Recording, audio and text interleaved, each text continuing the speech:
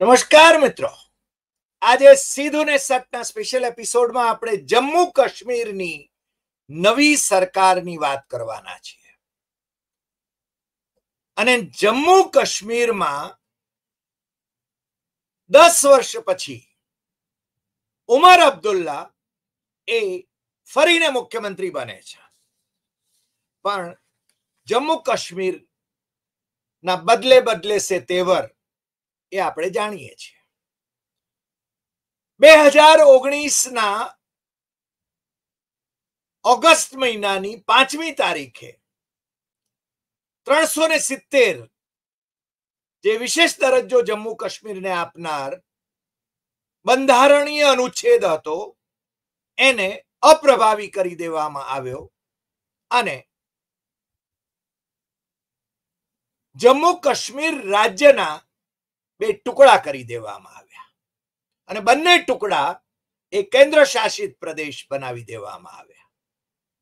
ભારતમાં પહેલી વખત એવું બન્યું કે એક રાજ્યના બે ટુકડા કરી દેવામાં આવે અને બંને દિલ્હીથી શાસિત એવા કેન્દ્ર શાસિત પ્રદેશો થાય. પણ સત્તા પીપાસુ રાજનેતાઓને કંઈક અવનવું કરવાનું એનો ધખારો હોય છે.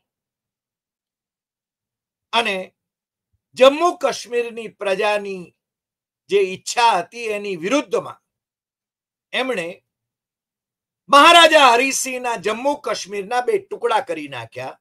એક જમ્મુ કાશ્મીર અને બીજો લડાખ. બંને કેન્દ્ર શાસિત પ્રદેશો. બંને લેફ્ટનન્ટ ગવર્નરથી શાસિત.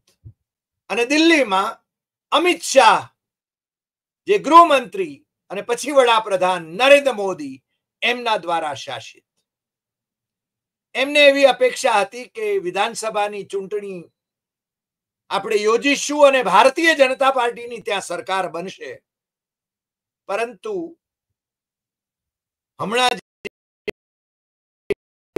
ચૂંટણી થઈ, નેવું બેઠકોની ચોવીસ બેઠકો એ ખાલી રાખવામાં આવે છે જમ્મુ કાશ્મીરની. કારણ કે પાકિસ્તાન ઓક્યુપાઈડ કાશ્મીર ને માટે અનામત રખાય છે. જેની ચૂંટણી આપણું ચૂંટણી પંચ કરી શકતું નથી.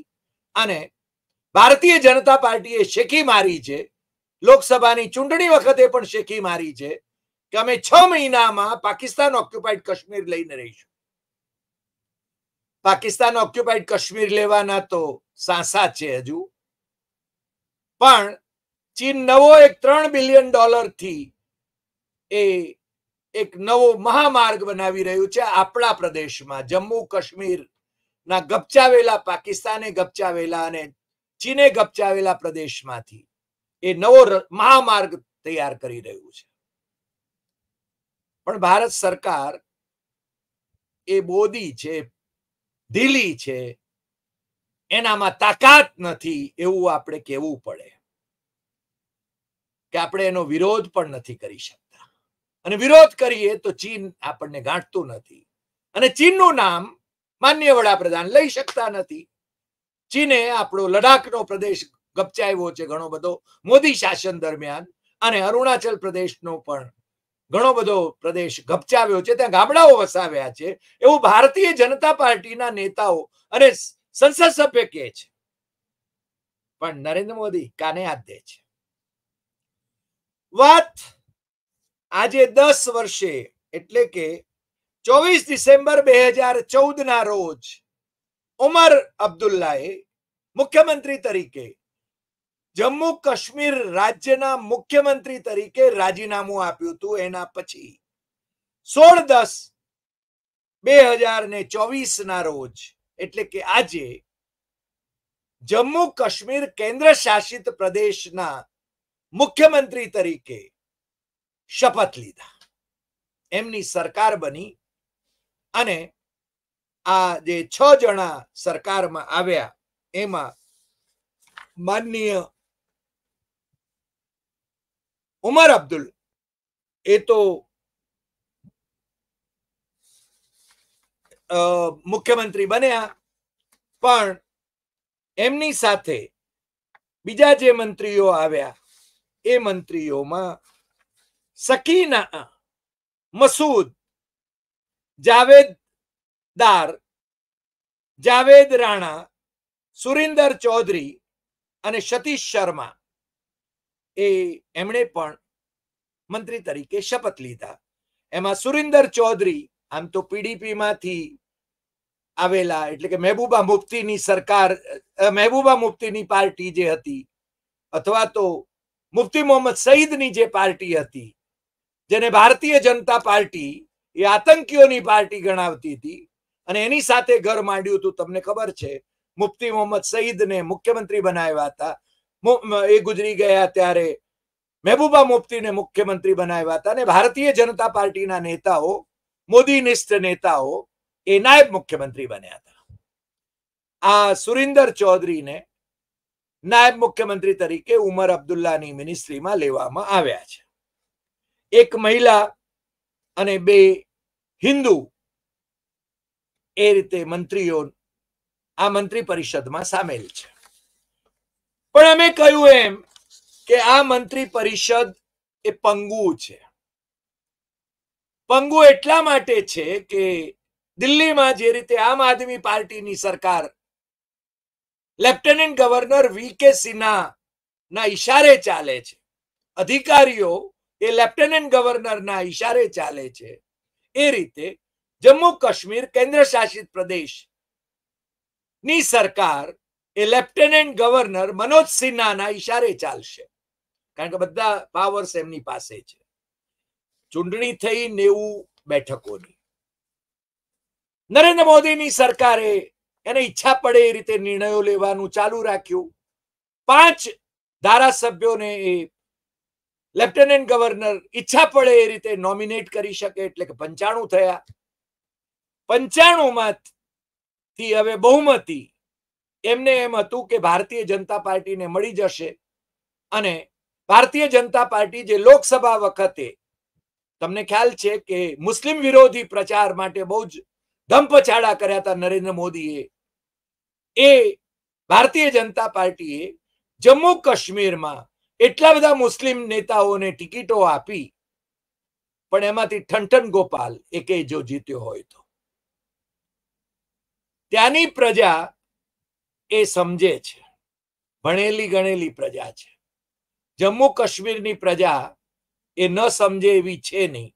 અને એટલા માટે અમે હંમેશા કહીએ છીએ કે અટલ બિહારી વાજપેયી જ્યારે વડાપ્રધાન હતા ત્યારે એમણે કહ્યું હતું, ઇન્સાનિયત, જમ્મુરિયત, કશ્મીરિયત આ ત્રણ જે શબ્દ પ્રયોગો છે, એની ભાવના છે, એનાથી કશ્મીરીઓના દિલ જીતી શકાય અને કશ્મીરીઓ આપણી સાથે રહી શકે. અન્યથા એ આપણી સાથે રહેવા માટે તૈયાર ના હોય એ પાકિસ્તાન સાથે જવા તૈયાર નથી અને નહોતા. એમણે તો મહારાજા હરિસિંહે પણ અલગ કાશ્મીર, જમ્મુ કાશ્મીર રાજ્ય બનાવવું, દેશ બનાવવો હતો.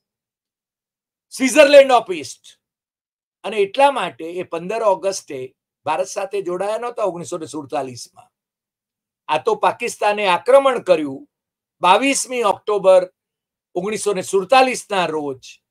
એટલા માટે જખ મારીને એમણે છવ્વીસ સત્યાવીસની મધરાતે ભારત સાથે જોડાવું પડ્યું અને ભારત સાથે જોડાયા એટલે આપણે છે ને ભારતીય લશ્કર મોકલીને પાકિસ્તાનના જે રેડર્સ આવ્યા હતા, એમને મારી હટાવ્યા છતાં આજે આપણી પાસે છેતાલીસ ટકા જમ્મુ કાશ્મીર રાજ્ય છે. મહારાજા હરિસિંહે જે ભારત સાથે જે એમના રાજ્યનું જોડાણ કર્યું હતું, જે રજવાડાનું જોડાણ કર્યું હતું એનું માત્ર છેતાલીસ ટકા આપણી પાસે છે. બાકીનું પાકિસ્તાને ગપચાવ્યું છે, બાકીનું ચીને ગપચાવ્યું છે અને રહી જતું હતું તો પાકિસ્તાને ચીનને વેચ્યું છે. એટલે એ ખાલી ક્યારે કરાવશે, કોણ કરાવશે ભારતની સરકાર? અને અત્યારની સરકાર એમ કે છે કે પાકિસ્તાન ઓક્યુપાઈડ કાશ્મીર એ ભારતનો અવિભાજ્ય અંગ છે. ભાઈ, અત્યારે જ નહીં. અગાઉ પણ છે ને સંસદની અંદર સર્વાનુમત ઠરાવો થયા છે કે પાકિસ્તાન ઓક્યુપાઈડ કાશ્મીર જ નહીં, ચાઇના ઓક્યુપાઈડ કાશ્મીર પણ ભારતનું અવિભાજ્ય અંગ છે. પણ ભારતની પ્રજાને એ જુઠ્ઠાણાઓ ફેલાવીને જે રીતે ઉશ્કેરવામાં આવે છે, જુઠ્ઠાણાઓથી પ્રેરિત કરવામાં આવે છે, એ કાશ્મીરની બાબતમાં વધારે છે.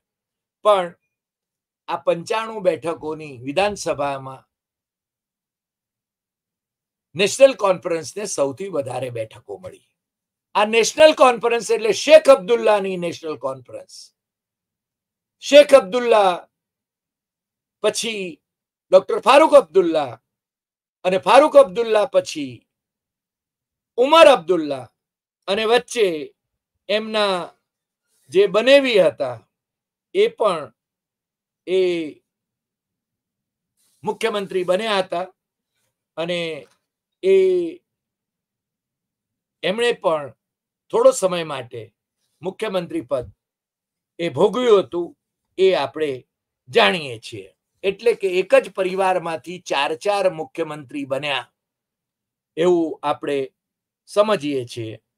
આમે શેખ અબ્દુલ્લા એ ત્યાંના બહુ જ પોપ્યુલર લીડર હતા અને શેખ અબ્દુલ્લા અને નહેરુની સાથેના અંતરંગ સંબંધોને કારણે એમની સાથેનું ટ્યુનિંગ હતું, મહારાજા સાથે સરદાર પટેલનું ટ્યુનિંગ હતું અને ભારત સાથે એને જોડાવા માટે આ બંને જણા સક્રિયપણે કામ કરી રહ્યા હતા, એ આપણે જાણીએ છીએ.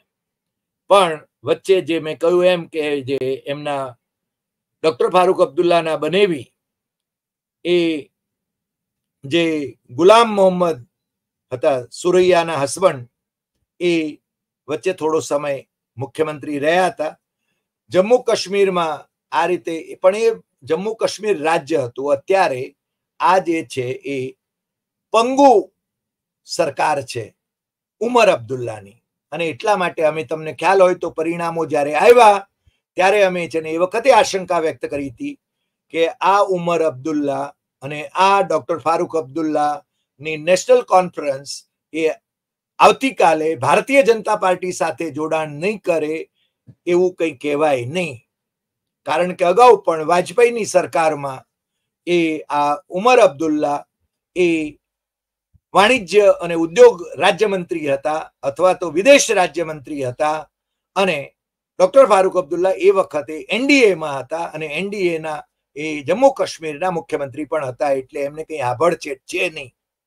અને જો જમ્મુ કાશ્મીરમાં એમણે વહીવટ કરવો હોય, એમણે સરકાર ચલાવવી હોય તો મનોજ સિન્હા જે લેફ્ટનન્ટ ગવર્નર છે, એમની પાસે એટલા બધા પાવર્સ આપી દીધા છે કે એ એમની, એમના, એમની કૃપા દ્રષ્ટિથી ઉમર અબ્દુલ્લા નવા, નવી નિમણૂકો પણ કરી શકે અને નિમણૂકોને નકારી પણ શકે.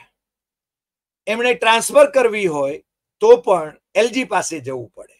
અને સરકારી અધિકારીઓ જે કેન્દ્ર, કેન્દ્રીય સેવાના સરકારી અધિકારીઓ છે, એમણે પણ એ લેફ્ટનન્ટ ગવર્નર મનોજ સિન્હા ના ઈશારે જ ચાલવું પડે આવી પરિસ્થિતિ છે. એટલે આવતીકાલોમાં શું થશે એ ખબર નથી, પરંતુ નેશનલ કોન્ફરન્સ સાથે મળીને કોંગ્રેસે ત્યાં આગળ ચૂંટણી લડી, પણ કોંગ્રેસ એની અંદર જોડાઈ નથી આ સરકારમાં. એ ખૂબ નિર્ણાયક બાબત છે. કોંગ્રેસનું એમ કહેવું છે કે રાજ્યનો દરજ્જો પાછો મળે તો જ અમે છે જોડાઈએ. અને નરેન્દ્ર મોદીએ વારંવાર એની ખાતરી આપી છે, પરંતુ રાજ્યનો દરજ્જો બહાલ કર્યો નથી, એટલા માટે એ બહાલ ન કરે ત્યાં સુધી કોંગ્રેસ આ સરકારમાં જોડાવા માટે તૈયાર નથી. હવે જે પરિણામ આવ્યું, ચૂંટણીનું, વિધાનસભાની ચૂંટણીનું, એ, એની અંદર સૌથી વધારે બેઠકો એટલે કે બેતાલીસ બેઠકો નેશનલ કોન્ફરન્સને મળી. એમાં ઉમર અબ્દુલ્લા બે બેઠકો ઉપરથી ચૂંટણી જીત્યા છે એટલે કે એક બેઠક ઉપરથી એમણે રાજીનામું આપવું પડશે એટલે એમની બેઠકો થાય એકતાલીસ. છ બેઠકો ઉપર કોંગ્રેસ જીતી છે. એક બેઠક ઉપર સીપીએમ ના ઉમેદવાર જીત્યા છે. એક બેઠક ઉપર આમ આદમી પાર્ટીના ઉમેદવાર જીત્યા છે. ત્રણ બેઠક ઉપર પીડીપી એટલે કે મહેબૂબા મુફ્તી ની પાર્ટીના ઉમેદવાર જીત્યા છે. એક બેઠક ઉપર પીપલ્સ કોન્ફરન્સના ઉમેદવાર જીત્યા છે અને સાત અપક્ષ જીત્યા છે. અત્યારે નેશનલ કોન્ફરન્સ કોંગ્રેસ સીપીએમ અને આમ આદમી પાર્ટી એ સાથે મળીને અને પછી કેટલાક અપક્ષો પણ એની અંદર જોડાય છે એટલે બહુમતી એ ઉમર અબ્દુલ્લા સાથે છે.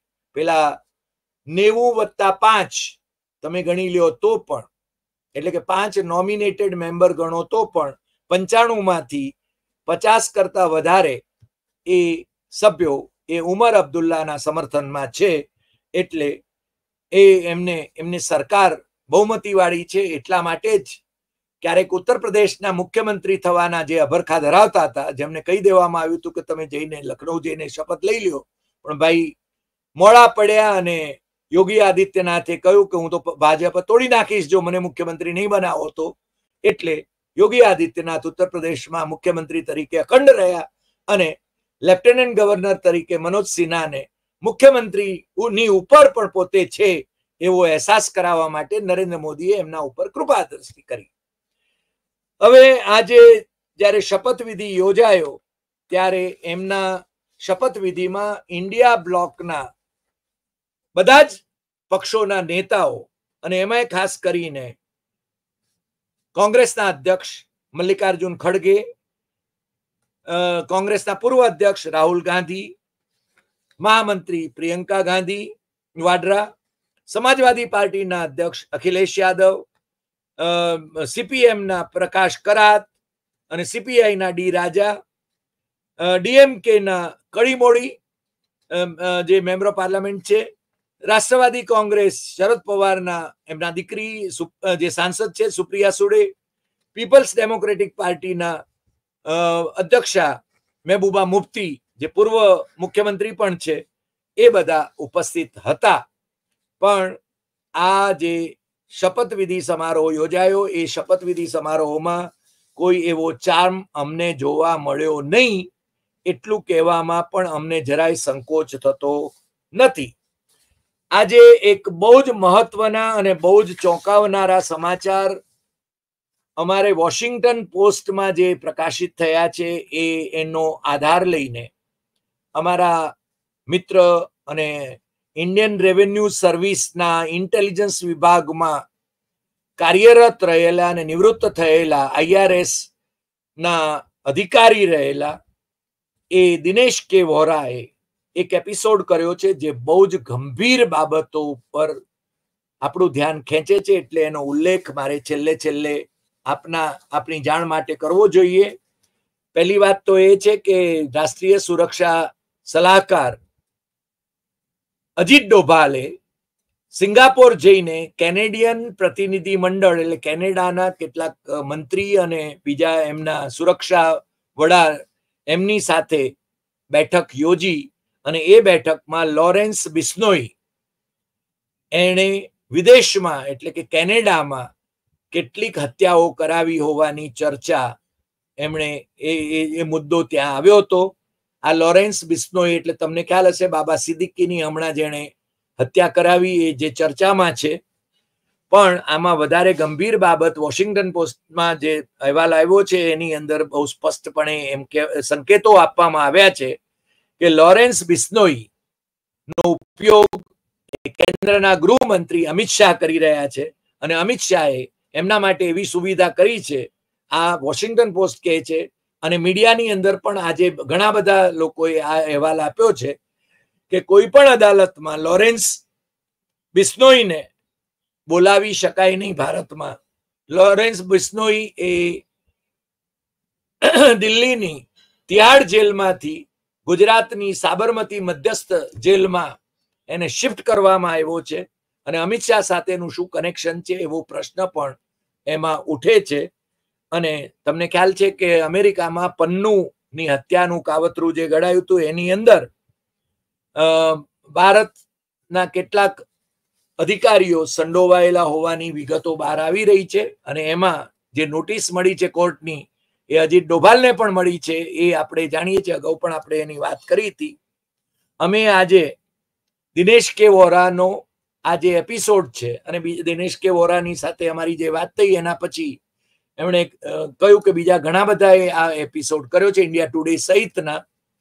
તો અમે વિશ્વ હિન્દુ પરિષદના ક્યારેક સુપ્રીમ લીડર રહેલા અને અત્યારે આંતરરાષ્ટ્રીય હિન્દુ પરિષદના સુપ્રીમ લીડર હમણાં જે આરએસએસ ના સરસંઘ ચાલક મોહન ભાગવતને મળીને નાગપુરથી પાછા આવ્યા ને બબે શંકરાચાર્યો ના કાર્યક્રમોમાં હાજરી આપી રહ્યા છે એવા ડોક્ટર પ્રવીણ તોગડિયાને અમે આ એપિસોડ મોકલ્યો અને અમે એમને કહ્યું કે આ અમિત શાહ જે તમે કહો છો કે મોદીથી એ એમનો મનમોટાવ થઈ ગયો છે, તો આ અમિત શાહના ટેકે તમે હિન્દુ રાષ્ટ્ર બનાવવાના છો ભારતને? અમે એવો પ્રશ્ન એમને કર્યો છે.